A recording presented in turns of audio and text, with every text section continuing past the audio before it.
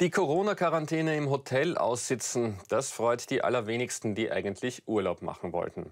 Aber wenn es schon sein muss, dann ist es doch schön zu erfahren, dass man die Kosten dafür nicht selbst tragen muss. In Wien zahlt die Stadt all jenen TouristInnen ein Hotelzimmer, die bei ihrem Besuch positiv getestet werden und sich erstmal isolieren müssen. Es ist ein Hotelaufenthalt mit garantiertem Einzelzimmer. Knapp 200 Betten gibt es in dem Fünf-Sterne-Hotel am Ring. Viel hat sich für die Quarantänegäste nicht geändert. Nur bei der Hygiene ist nachgeschärft worden. Derzeit sind alle Betten frei. Sie sind für Touristinnen und Touristen, aber auch für Menschen aus Wien reserviert. Es würden Menschen aufgenommen worden, die entweder in der Unterkunft, in der sie sich befinden, keine Quarantäne wahrnehmen können, weil die Raummöglichkeit nicht gegeben ist. Reisequarantäne, die sich auch ständig ändert. Auch hier bieten wir die Möglichkeiten, aber auch bei Familien, die in beengten Wohnräumen sind, hier die Quarantäne für die 10, 14 Tage wahrzunehmen.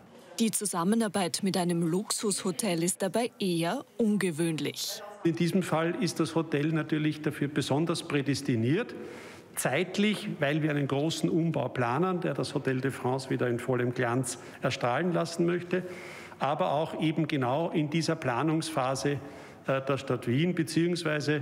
Äh, erkrankten Personen zur Verfügung äh, zu stellen ist. Alle Quarantänegäste werden auch medizinisch betreut. Organisiert wird das Quartier vom Samariterbund und den Johannitern.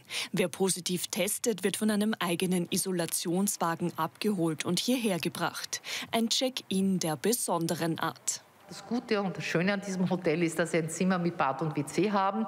Das heißt, Sie haben hier eine kleine Wohneinheit. Sie bekommen dreimal am Tag selbstverständlich ein Essen. Wir haben hier die Möglichkeit zu fernsehen. Der einzige Nachteil ist, Sie können das Zimmer nicht verlassen. Ein kleines Zugeständnis, das wir machen. Wir haben eigene Rauchmöglichkeiten geschaffen, weil wir nicht dazu sind, hier den Leuten das Rauchen abzugewöhnen. Zahlen muss man dafür übrigens nicht. Die Kosten für den Aufenthalt werden von der Stadt übernommen.